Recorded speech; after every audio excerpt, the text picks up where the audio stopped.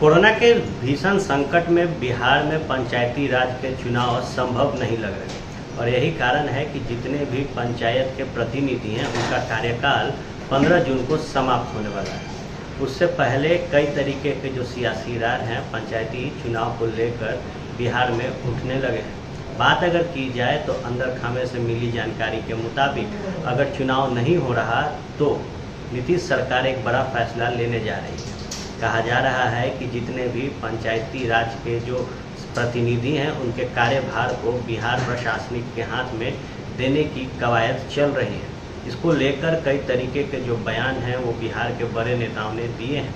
बात अगर की जाए तो कल ही हिंदुस्तानी अवाम मोर्चा के राष्ट्रीय अध्यक्ष जीतन राम मांझी ने ट्वीट करके छः महीने के लिए पंचायत प्रतिनिधियों के कार्यकाल को बढ़ाने के लिए मुख्यमंत्री से निवेदन किया था। और आज भारतीय जनता पार्टी के एमएलसी रजनीश कुमार ने भी, मुख्यमंत्री नीतीश कुमार से निवेदन किया है कि ऐसे स्थिति में जब भीषण संकट है, कोरोना चारों तरफ़ फैला हुआ है और गाँव में सबसे ज़्यादा जनप्रतिनिधियों की ज़रूरत है तो उनके कार्यकाल को बढ़ाया जाए।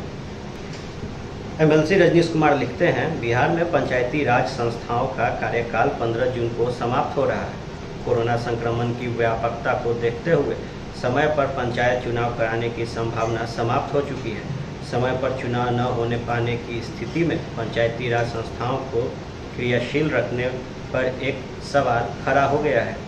विदित हो कि केंद्र सरकार एवं राज्य सरकार की दर्जनों योजनाओं का संचालन पंचायती राज संस्थाओं के माध्यम से होता है। ऐसे में पंचायती राज संस्थाओं के विघटन हो जाने की स्थिति में इन योजनाओं के सफल क्रियान्वयन पर प्रश्न चिन्ह खड़ा हो सकता है। अब जबकि सर अब जबकि समय पर पंचायती राज संस्थाओं के चुनाव की संभावना समाप्त हो गई है तो इन संस्थाओं की क्रियाशील रखने के लिए जो भी विकल्प हो सकते हैं, उससे सर्वोत्तम ये होगा कि सरकार वर्तमान पंचायत प्रतिनिधियों की तत्कालीन रूप से कार्यभार देखकर पंचायती राज संस्थाओं को क्रियाशील रखने का काम करे।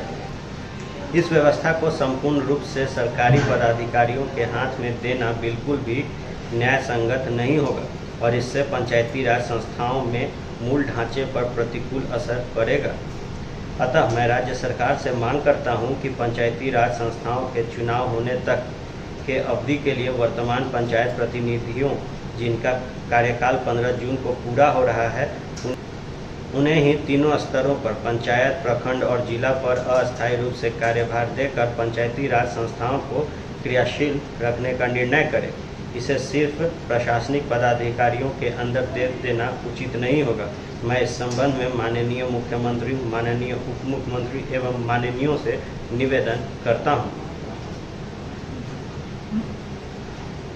अब देखने वाली बात होगी कि जहाँ मुख्यमंत्री नीतीश कुमार को लगातार उनके सहयोगी दल के नेता कह रहे हैं कि जो पंचायत प्रतिनिधि हैं, उनके कार्यकाल को इस कोरोना के भीषण संकट में आगे बढ़ाना चाहिए। तो देखने वाली बात ये भी होगी कि क्या नीतीश कुमार अपने सहयोगी दल के नेताओं की बात को मानते हैं? क्या जो पंचायत प्रतिनिधि हैं, उनका कार्यकाल बढ़ाया जाता है? ये भी देखना दिलचस्प होगा। आप बने रहे फ़र्स्ट बिहार झारखंड के साथ। खबरों का सिलसिला यूँ ही चलता रहेगा।